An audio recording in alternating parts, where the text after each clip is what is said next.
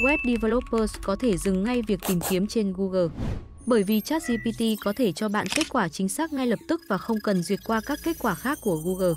Ví dụ bạn có một deep trong một deep khác và nhiều người mới bắt đầu học lập trình gặp khó khăn trong việc đặt deep bên trong ở giữa. Thì vào năm 2021, bạn sẽ cố gắng tìm kiếm từng kết quả một mà Google cho bạn để có thể làm được. Giờ đây, bạn có thể vào chat GPT và viết cách căn giữa một deep bên trong căn giữa một deep nó sẽ cung cấp cho bạn thông tin chính xác áp dụng cho deep của bạn.